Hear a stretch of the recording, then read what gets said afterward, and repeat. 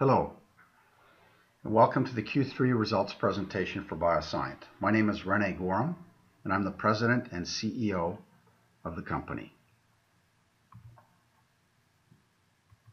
Wanted to start today's presentation with a look at our sales results, EBITDA, and net income after tax for the quarter ended September 30th. So This quarter represented our 33rd consecutive profitable quarter. We had some mixed results on the top line with Canadian pharmaceutical business growing 11%, our international pharma business down 51%, and our legacy business down 56%. All of that added up to a sales result of 3% below year ago at 5.26 million dollars. Our EBITDA was 1.73 million, just 1% below year ago, and our net income after tax 1.27, down 2% versus year ago. I'll speak a little bit more in detail about what drove those results in a couple of minutes. Through nine months, our sales are up 5% versus year ago, once again led by the Canadian pharmaceutical business at +13, international pharma down 15%, and legacy down 44%. So a couple of comments there. So you see versus the quarter performance, the nine-month performance is down 15%. So we did have a strong start to the year, and we do see from time to time business come from one quarter into the next. We certainly were expecting some more shipments into international customers in Q3. We had orders, and we've had some issues with our customers receiving import permits. So I'll go into a little bit more detail on that. That has caused some choppiness to our Q3 results and also, quite frankly, to the results year to date. And we see that likely continuing for the short term, uh, but not the long term, as we're still confident that we can grow that business. Our legacy business was working against a couple of strong years. Uh, as you know, we don't invest against that business. It uh, is is a business that that has not proven to be promotionally sensitive, so we essentially have a maintenance strategy. Uh, for a couple of years, we've had strong performance. Uh, this year, uh, some environmental conditions in key markets has led to the business coming down significantly, though this was not a result of competitive activity. It's some of the ebbs and flows in the commodity markets in agriculture. Our EBITDA was up 7% through nine months at 5.3 million dollars, and our net income after tax up 8%, just over 4 million. So Taking a closer look at the pharmaceutical business, this is a look at the last uh, 20 quarters, so the last five years of our pharma business. I've used this uh, slide for quite some time in the past. Um, you see, uh, represented by the blue tips, our international pharmaceutical business. So looking back, say as far as Q3 of 2016, you see the uh, pharma business outside of Canada represented up to 13% of total revenue in the quarter, and that that number has bounced around somewhere between uh, 8% and uh, 15% over that period of time. So as I've spoken out about before, there is some lumpiness in this business. We get large orders. Sometimes the shipment of those orders is delayed. Sometimes there are other factors that will cause delay. What we're experiencing recently are some new some new phenomena that uh, that include uh, issues around import permits and access to for our customers to have sufficient foreign currency to purchase product from us. So the net result is that uh, in Q3 2018, the international pharma business represented just 6% of our total sales for the quarter, and obviously on a year ago basis was a significant uh, shortfall. So let's look a little bit deeper at uh, some of uh, the upsides and downsides for the quarter. So overall, the pharmaceutical business was just a shade under 5 million dollars. It was up 4% versus Q3 of 2017. In Canada, that was 4.71 million, up 11% versus last year.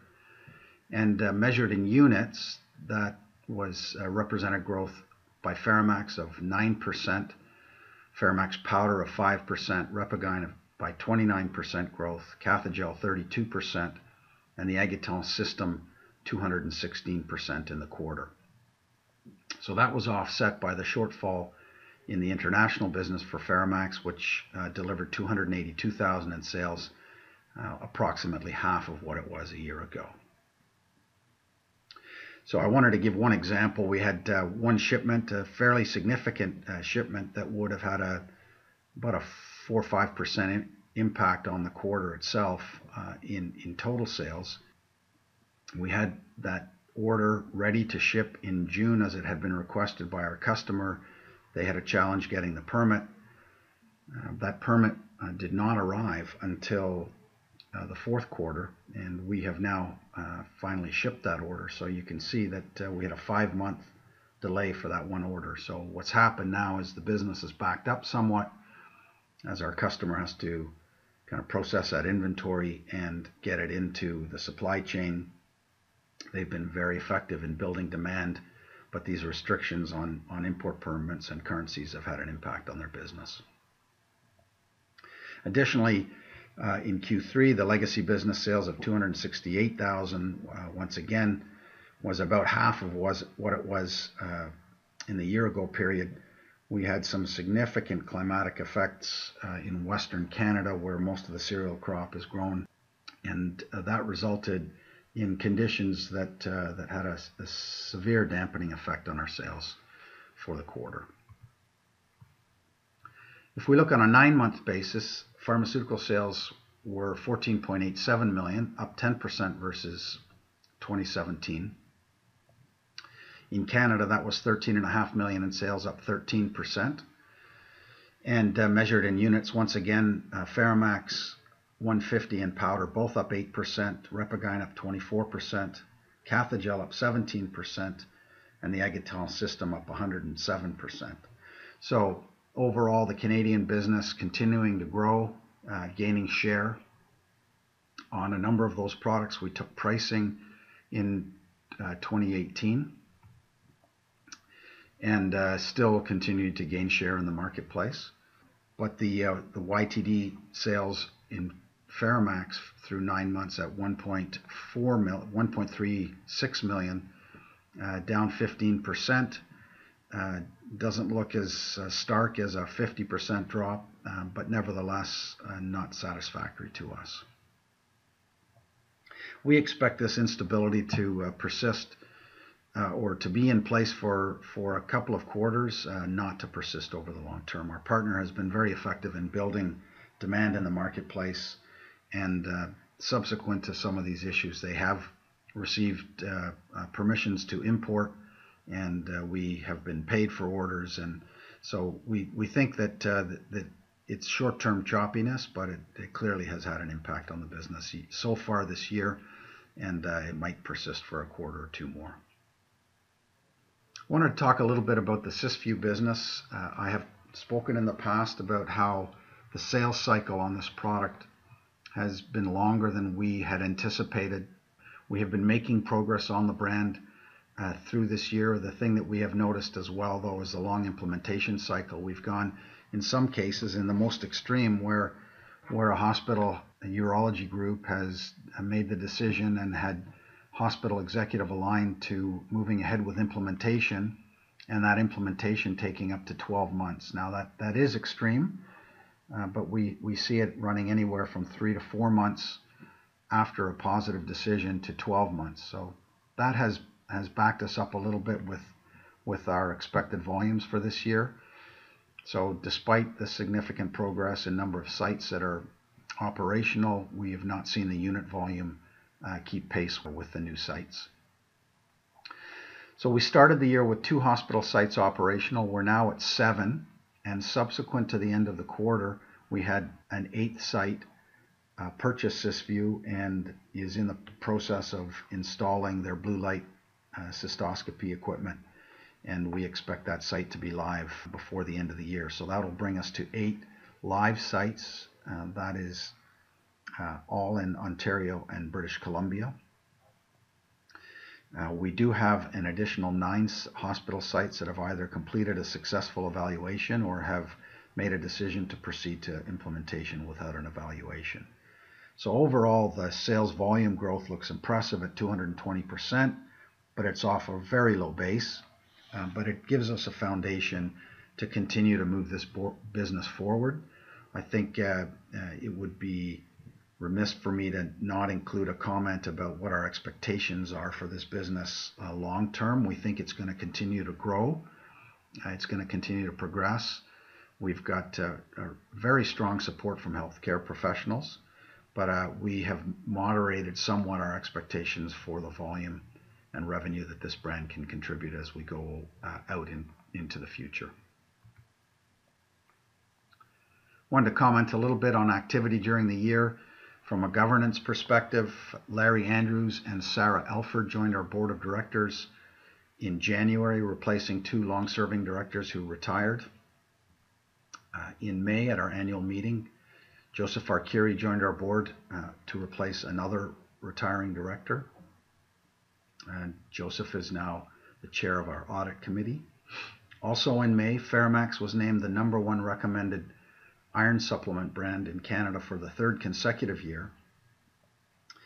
And what's impressive here is that uh, the, the percentage of physicians and pharmacists surveyed has grown in each of those three years uh, to the point where we've we've now got 43% of physicians recommending FeraMAX as their number one choice, and 35% of pharmacists. Also in 2018, uh, in September specifically, Alfred D'Souza, our long-serving Vice President of Finance and CFO, uh, retired from the company. And in the same month, Robert March joined us as Vice President of Finance and CFO. Also in September, Joost Vandermark joined BioSyent as our Vice President of Corporate Development. And finally, BioSyent was named to the Growth 500 ranking of the fastest growing companies for the sixth consecutive year. I wanted to take a couple minutes and comment on our product portfolio and our product life cycle. This is a graphic uh, that you will have seen in our MD&A. It's featured in our MD&A for uh, quite a number of years. So this is how we look at the, the life cycle of products. Uh, you can see here that uh, in the launch and growth phase, we've got a number of assets that are uh, launched in the Canadian market and also internationally. And we really see those as the foundation of growth for 2019 we have three assets that'd be two cardiovascular products and a women's health product that are in the Health Canada approval process, where the launch of those pr- uh, products is conditioned on approval by Health Canada. So it's now uh, moving into the second half of November. We don't have approval, and we've uh, got to look at uh, the likelihood of, launching those products uh, next year. And I think it's it's at this point unlikely that they would fuel growth for 2019. Uh, we're looking at those more for 2020 uh, and beyond. Quick look at our balance sheet. So our working capital of 24.3 million, over 90% uh, of that is cash, a cash of 22.6 million. That cash position obviously has been growing. It's up 17% from the December 31 year end of 2017 and uh, we continue to carry no debt uh, in the business. So I want to dig a little bit deeper into the cash, both our cash generation and cash needs for the business. So, you know, with $22.6 million in cash available, uh, that's up 37% from the year ago September 30th level of 16.5 million and, and almost double what it was uh, two years ago, 24 months ago, September 30th. You see there the, the actual amount of cash generation uh, for the period, so 3.267 uh, through nine months. The amount of cash that we actually need to operate our business above non-cash working capital is somewhere between two and three million dollars. So essentially, we have that difference available to us to deploy in investing opportunities to either expand our portfolio uh, through in licensing or acquisition, and uh, we've spoken in the past of of uh, quite a number of uh, in licensing discussions and or and or acquisition of in market assets. So the reality is that um, that we have not seen anything on the acquisition side that kind of meets our financial criteria and portfolio uh, fit criteria. And the likelihood of us making acquisitions, I'd say in the short term, let's define that in the kind of six to 12 months, is is less than certainly our expectation around uh, in-licensing activities. And we're really talking about deployment of capital. So the the amount of capital that we need for in-licensing is is relatively, you know, a fraction of what we would need to make acquisitions. We we have been observing uh, both activity in the market and in discussion about uh, some potential uh, opportunities. And our point of view is that the market and the pricing in the market doesn't doesn't meet our our financial criteria. We think the the growth, the path to growth, the likelihood for us to kind of continue to grow the business in addition to the existing portfolio and the assets that we have uh, already in-licensed and are going through Health Canada um, approval process, are gonna be further in-licensing deals. With kind of some choppiness in the markets, in the equity markets, uh, rising interest rates, I think there may be some opportunities that present themselves to us uh, as we progress, and uh, we're just gonna have to continue to be patient. You can see the impact that uh, our patience has had on our return on equity uh, on this chart, as shown to you in the the thick blue line, going from a 48% ROE in 2014 full year to a trailing twelve months on, on September 30th of this year of 24%. That's really been a function of the the uh, cash in the business. As that cash position has grown, uh, measured over the uh, the time that you see on this chart, has gone from just under 8 million to 22.6 million, and that obviously has had an impact on our ROE. So we're obviously paying attention to that, keeping an eye on it, and um, and continue to work on deployment opportunities. And we'll see what that looks like uh, over the next uh, short while. Wanted to take a quick look at our earnings per share. So on the right-hand side of this chart, you see our EPS in in full year segments, so 2013 through 2017, where it was 0.36. Uh, on the left, you see our last eight quarters. So the uh, trailing twelve-month EPS of 38 cents versus 34 in the previous 12 is up 12%. Uh, but on a on a Q3 to Q3, uh, we're flat, and Q2 versus Q2 year ago, we're flat as well. So this is a quick snapshot of our position in the market with a number of shares issued and options for a total of just over 14,675,000. I wanted to conclude today's presentation with a couple of thoughts uh, about how our business is progressing and and what we see as our priorities as we move into 2019. Uh, we're intensely focused on uh, receiving Health Canada product approval so that we can launch new products into the marketplace.